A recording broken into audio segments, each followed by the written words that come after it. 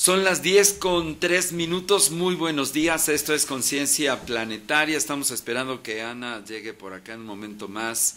Eh, Ana Marín, eh, la conductora que me acompaña todos los viernes. Pero bueno, el tráfico no perdona, así que estamos ya listos para iniciar hoy Conciencia Planetaria.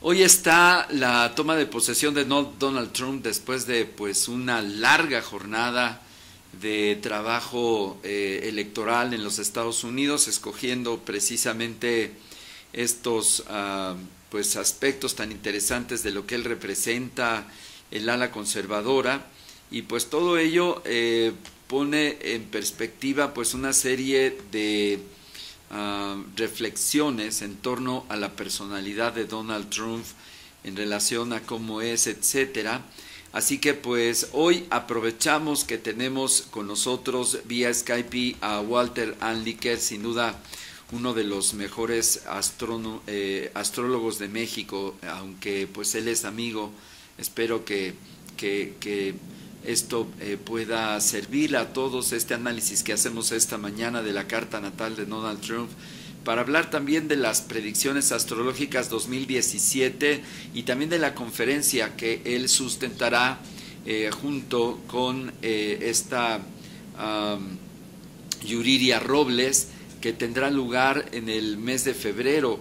Así que vamos a hablar precisamente de esta conferencia. Walter es astrólogo profesional, escritor y editor eh, de nacionalidad suiza. Se dedica a dar con a dar consultas y clases y seminarios de astrología en Latinoamérica y España, es conferencista internacional y actualmente pues ya tiene seis libros que pues ya no son poquitos de astrología. Es terapeuta floral, además es co-creador de su propio sistema de esencias florales de Xochimilco. Funda la revista Observaciones Astrológicas y que en el hoy eh, en el equinoccio de primavera del año 2000 eh, fue pues también el momento de lanzamiento de esta importante revista.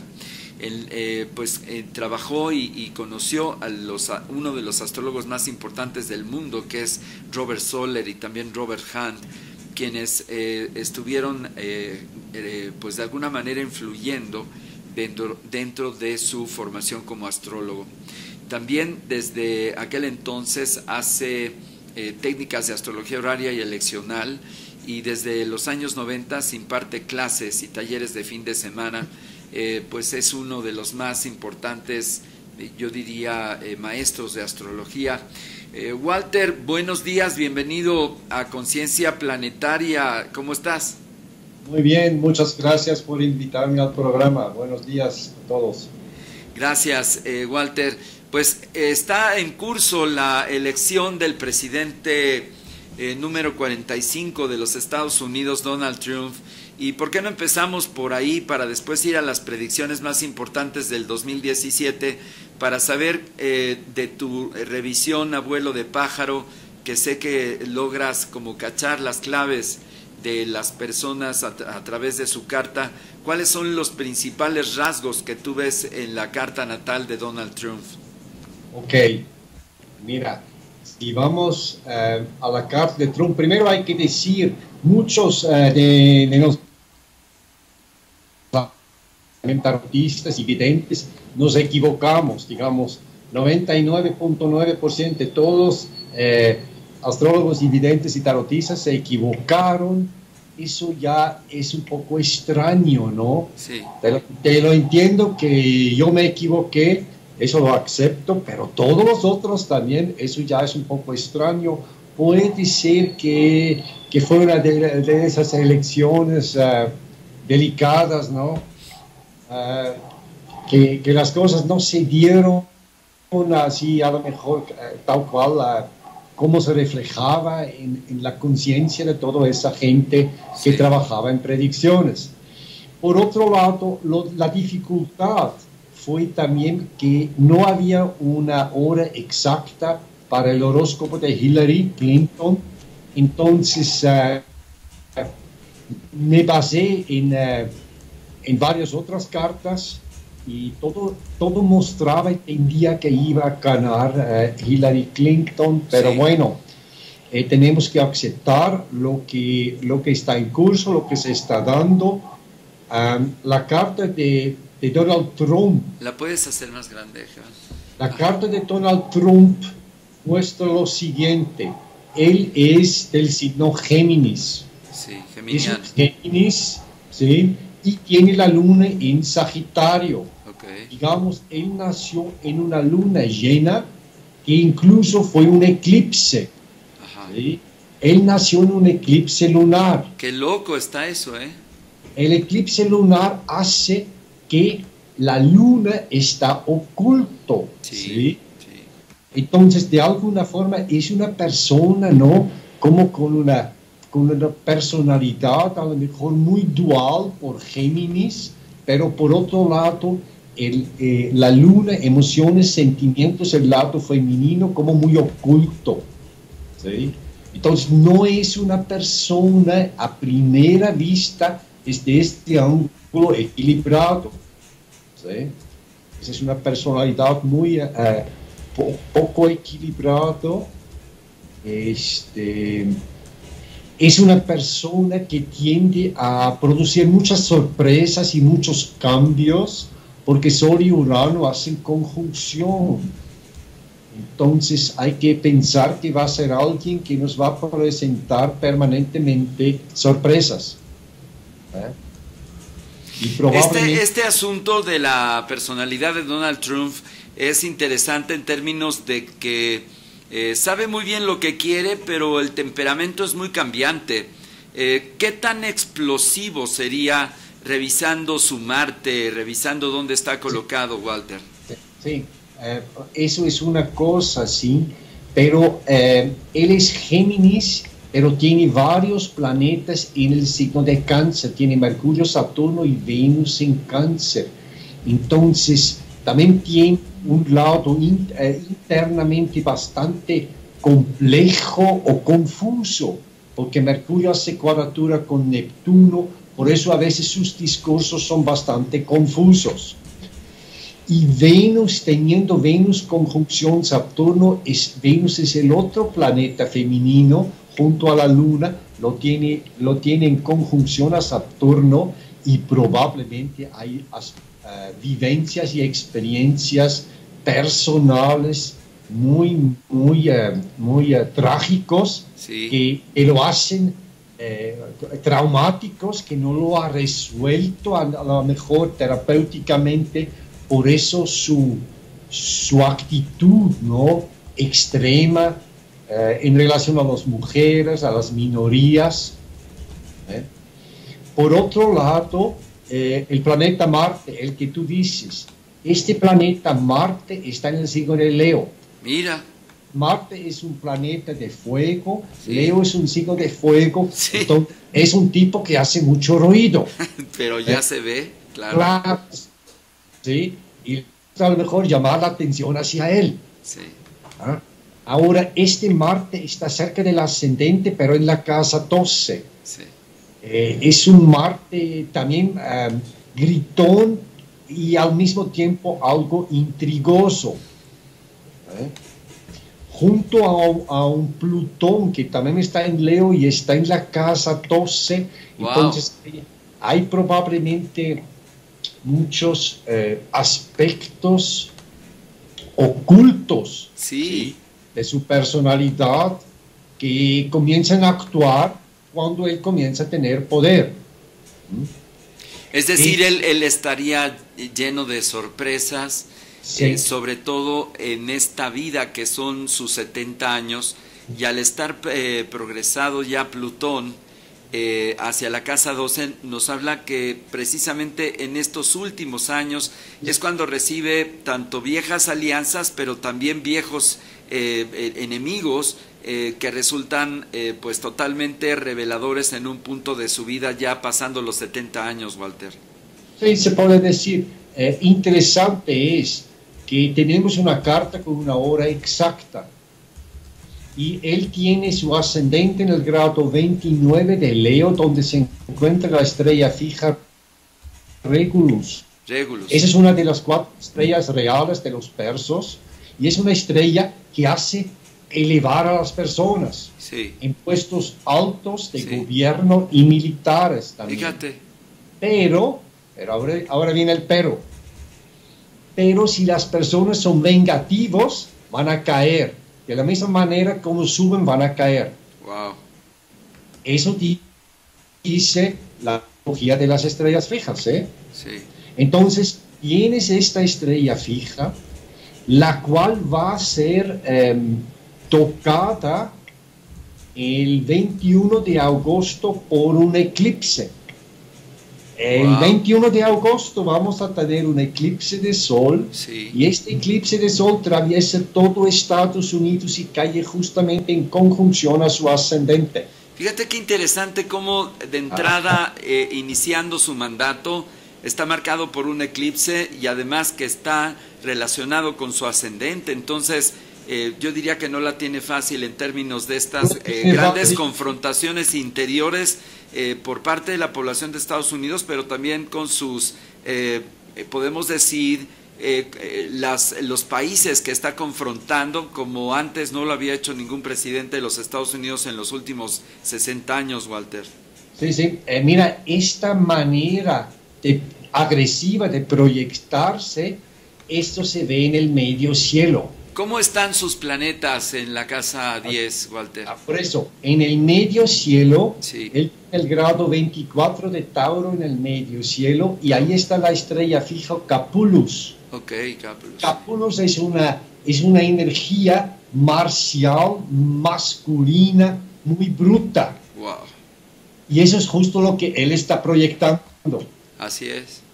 Entonces, creo yo astrológicamente viendo esto, viendo también que más adelante se van a dar aspectos, digamos, Saturno está tocando esta oposición Luna-Sol, y por otro lado Neptuno va a tocarla más adelante también. Entonces sí, como tú, dijiste, como tú dijiste, no lo va a tener fácil, es posible yo no, yo no, yo estoy, yo no estoy seguro que si va a terminar el, el mandato.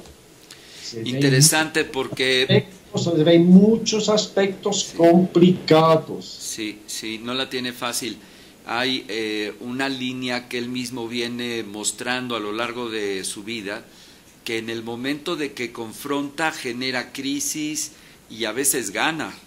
Es una, es, un, es una forma en la que él ha hecho eh, a veces en las rutas de quiebra, porque tuvo negocios en quiebra importantes, el lanzarse por eh, soluciones inéditas y las gana, es decir, va por todo. Y fue lo mismo ahora en las elecciones en los Estados Unidos, colocando como eje una controversia, eh, distanciándose de sus vecinos y socios de estos últimos años, que son México, incluso también Europa, y ahora él va por una línea de cerrar eh, sus fronteras y acercarse incluso a Rusia. Entonces, estos signos eh, lo vuelven una persona, eh, pues sí, con una mirada muy marcial, con un tono muscular y un lenguaje corporal muy marcial, pero que no es una persona culta. ¿Cómo está su Júpiter en relación a estos aspectos intelectuales, Walter? Sí, sí, y se ve, ¿sabes qué es lo que se ve? Que es una persona con mucho rencor. Eso es. Y una persona con rencor, si le das poder, se vuelve peligroso. Y dijimos que es como muy, eh, muy lleno de sorpresas. Sí. Eh, su, su Júpiter, mira, su Júpiter tiene una cuadratura a Saturno. Fíjate qué interesante, Júpiter cuadratura a Saturno en su natal. Está retrógrado y en cuadratura a Saturno, está como muy filosófico. Entonces tiene una visión del mundo como muy estrecho, muy limitado. Claro. Y creo que eh, eh, en el fondo podemos decir que hay grandes miedos, porque Saturno está en el signo de cáncer, donde está débil, entonces hay una base de mucho miedo, y que a lo mejor hace que evolucione una dirección eh, eh, como de, de un mundo, de una visión del mundo muy estrecho, pues. Sí, ¿y cómo está su relación con su mamá Luna? Es decir, viendo una revisión precisamente de los resortes que a él le configuran como una persona que pues está respondiendo de una manera hasta cierto punto traumática, seguramente sus primeros años, sus primeros 13 años. ¿Cómo está su luna? ¿Está bastante afligida? La luna, la luna se encuentra, primero él nace en un eclipse de luna. Para empezar. Su luna se encuentra en el nodo sur, por lo tanto hay un karma muy fuerte desde vidas pasadas. Sí, claro, nodo sur. Esto es, ¿sabes qué es? La luna hace oposición bastante exacta a Urano. Mira. Entonces hay, mucho, eh, hay muchos sentimientos de abandono. Sí, una huella de abandono tremenda. Y es una parte de su propio coraje, de su propio resentimiento eh, casi te podría decir que es un perfecto tirano. ¿eh? Probablemente viene porque él es inmigrante también, su trasfondo de inmigrante, ¿no? Y, esta inseguridad que a lo mejor durante años las familias tenían, se refleja aquí. Aquí hay una, esta esa parte de, falta de, ¿cómo se puede decir?, de apertura hacia lo ajeno, sí. Creo que se ve en esta luna que está muy lastimada. Muy lastimada. nunca fue tratado eh, terapéuticamente. Yo creo que no. Se muestra un ser con mucho rencor. Y, y eso lo está proyectando sobre el mundo. Así es.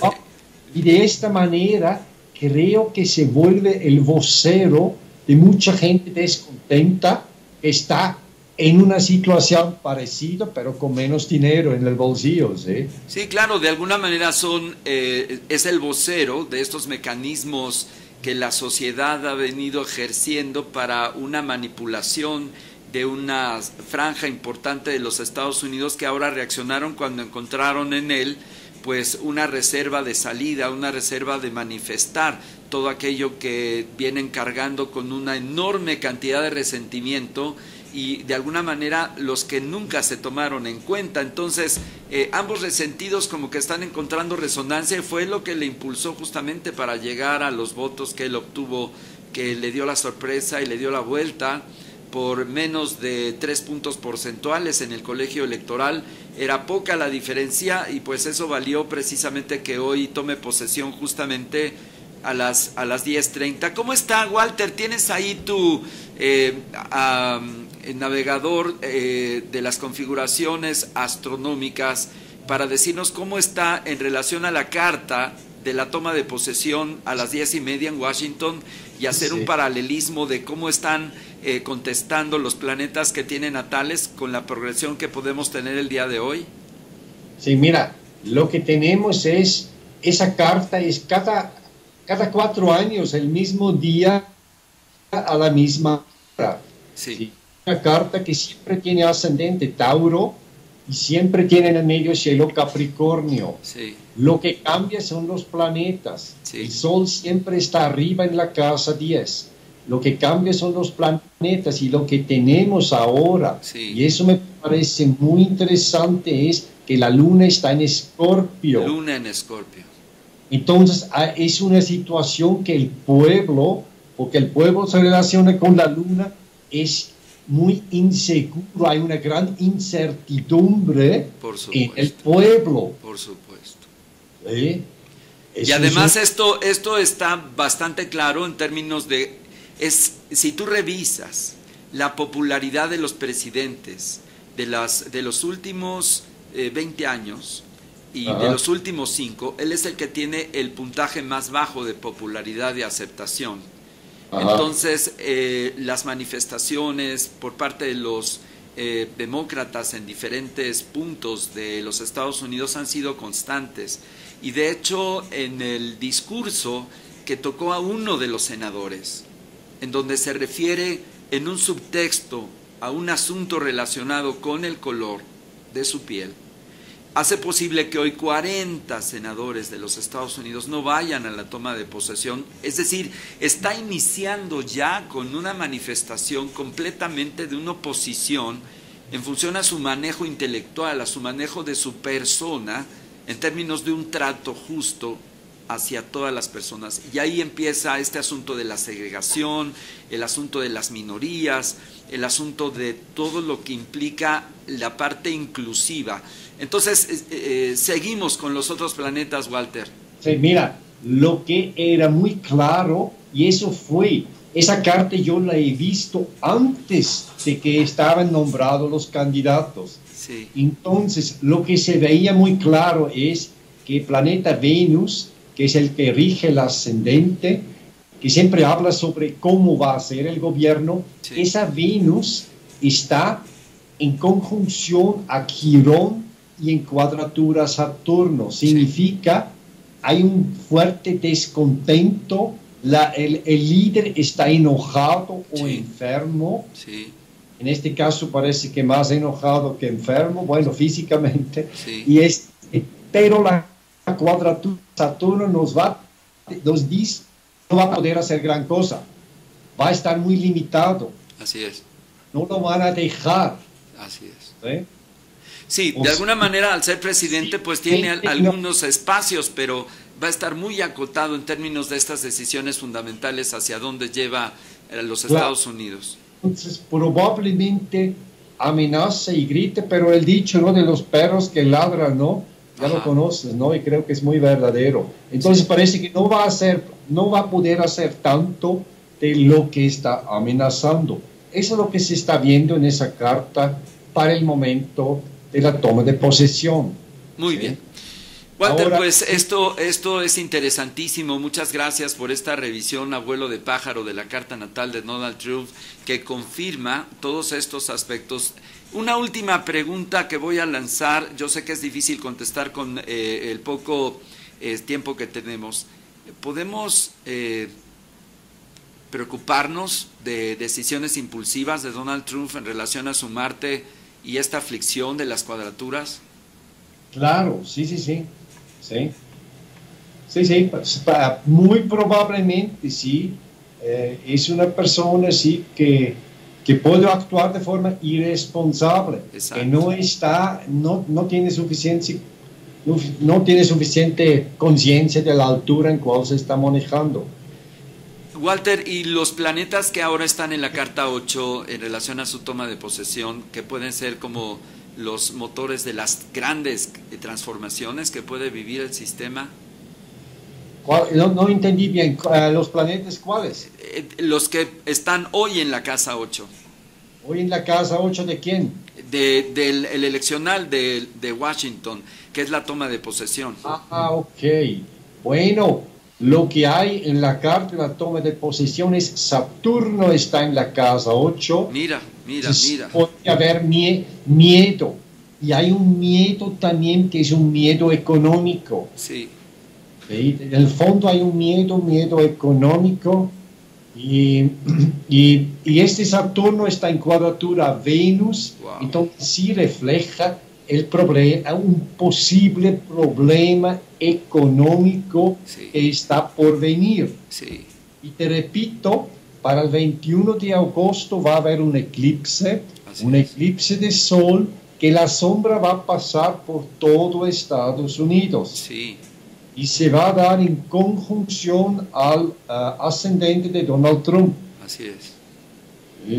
Entonces sí se ve, se ve complicado la situación. Ya lo creo. Para, Estados Unidos.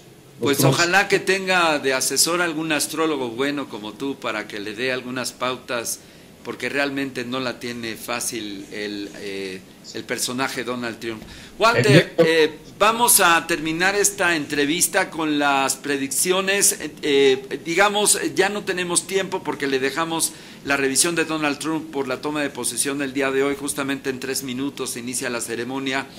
Pero si nos comentas sobre Júpiter, que tiene interesantes características, también tiene cuadraturas, y Júpiter ah. siendo como el rector del sistema de las leyes estables en los cielos, nos exige un examen y una revisión. Cuéntanos de Júpiter y ah, además eh, aprovecho para invitar a los amigos a que nos acompañen a la conferencia que sustentarás tú junto con Yuriria Robles, eh, yo, aunque son mis amigos, lo puedo decir, ojalá te tapes los oídos, los, de los mejores astrólogos que tiene México, el próximo lunes 20 de febrero a las 7 de la noche en la sede de Holística México, donde hablaremos de los aspectos astrológicos y los análisis signo por signo. Así que ojalá tengan ustedes tiempo de acompañarles a ustedes, Walter y Yuriria, a los amigos a revisar la Carta Natal de México, del México Independiente, también los aspectos de la transición de México y el mundo, un análisis astrológico de solsticios y equinoccios, los eclipses anulares y totales del Sol y de la Luna, los aspectos planetarios mayores, los ingresos, sus retrogradaciones, incluso la de Venus retrógrado, que es interesante. Cuéntanos dos aspectos interesantes del 2017 que tú consideras que sean fundamentales, Walter.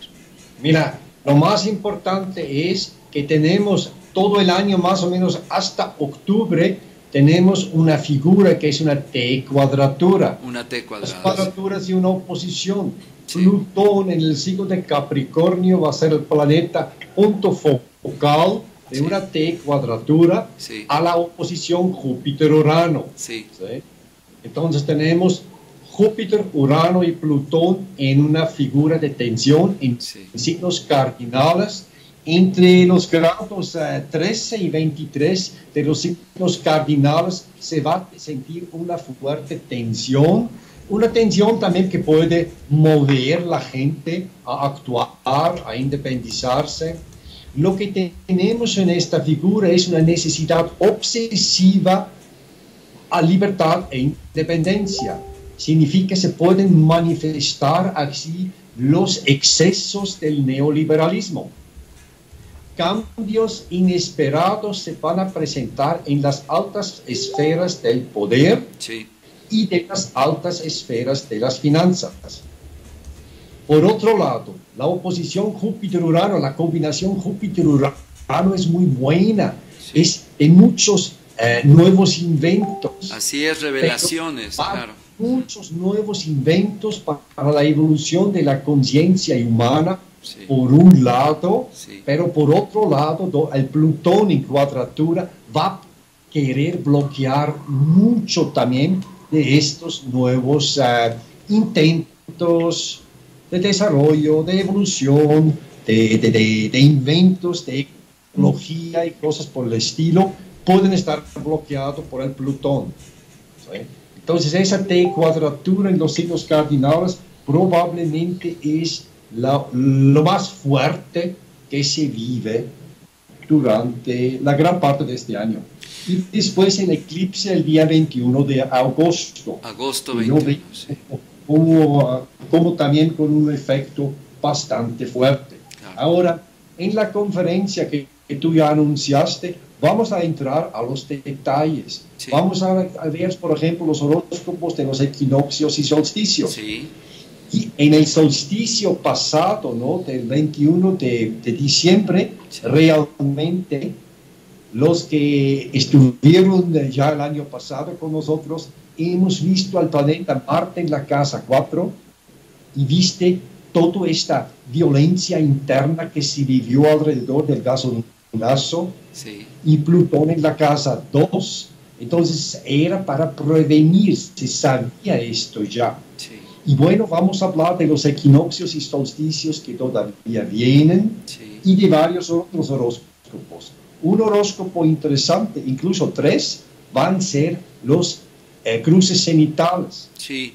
Estamos usando ahora horóscopos de astrología occidental para los tres cruces cenitales que se producen. Digamos el anterior del año pasado y los dos que se dan este año. Entonces estamos usando aquí un, un momento que los... Uh, la gente en Mesoamérica, ¿no? antes, digamos, prehistóricos, pre, prehispánicos más que sí, nada. sí.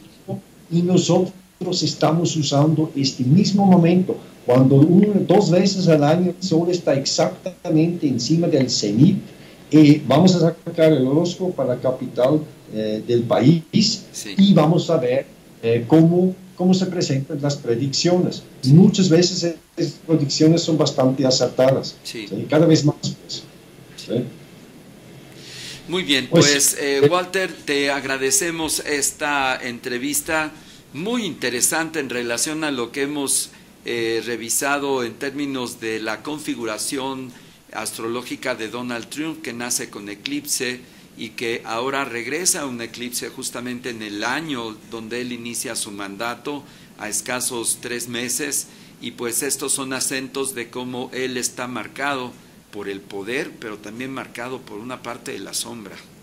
Así que, pues... Por, dos estrellas fijas e importantes. Así es. Así que estas estrellas también hablan de caída y también hablan de un ascenso rápido. Entonces, eh, son interesantes todas estas reflexiones. Amigos, pues muchas gracias. Eh, pueden ustedes compartir este video tan pronto lo terminemos en este instante, que lo vamos a subir a redes sociales en este momento. Y Walter, como siempre, un abrazo y pues invitarte también a que muy pronto prepares tus libros para tenerlos en nuestra librería digital, que estará muy pronto al aire. En estos días les daremos las informaciones. Y antes de despedirte, si nos das los datos de tu conferencia en Colombia, que tienes ya eh, planteada esta conferencia en unos días más? Mira, es, es un taller de, de, fin de semana. Sí. Pero ahorita déjeme, déjeme darte los... Los datos. Los datos. Eh, un momentito, aquí está. Sí. El, el, el, va a ser el día, día, día, día. Está en su muro. Dale. Un momento. Mientras aprovecho para saludar a Yuriria Robles, que estuvo con nosotros en entrevista hace apenas un par de días, a San Castaneda y también a Fanny Arreola, que están eh, con estos likes sobre la emisión que está en vivo en, nuestros, en nuestras páginas. Adelante, Walter. Ok, es el día 11 y 12 de febrero en, su muro. en Bogotá se trata el sábado de astrología horaria y el día domingo de astrología eleccional. Este, la gente que está interesado en esos dos métodos, son métodos antiguos, actualizados por la, por la vida moderna, astrología horaria se da respuestas a preguntas y astrología eleccional es elegir momentos apropiados para inicio de empresas, viajes, bodas, etc. Ahora, este, la gente que quiere tener contacto se debe conectar con, por un lado conmigo, pueden conectarse conmigo a través de mi email astrovalter 2015 eh, arroba gmail.com o con eh, Martín Ochoa en Bogotá con el número teléfono 31 08 92 11 95. Se lo repito, en Bogotá, Martín Ochoa 31 08 92 11 95. Me daría mucho gusto que alguien se anime y que nos vemos allá en Bogotá. Claro que sí, Walter. Sí. Bueno, pues tú estás en Facebook como Astro Walter y tu página donde están tus libros y donde está todo, ¿dónde es?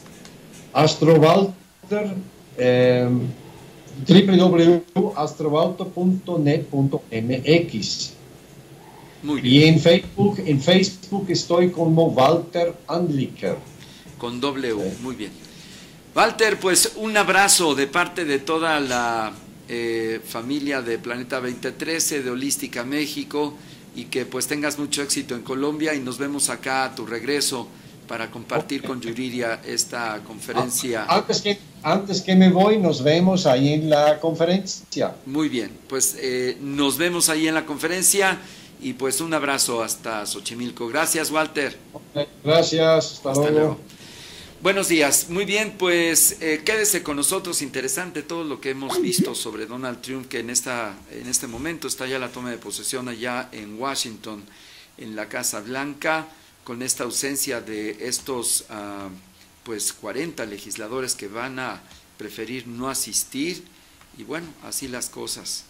Eh, quédese con nosotros. Eh, vamos a tener oportunidad hoy, viernes 20 de enero, de charlar eh, aquí en el estudio con Iván Vega, vamos a hablar sobre conectando tu mente inconsciente.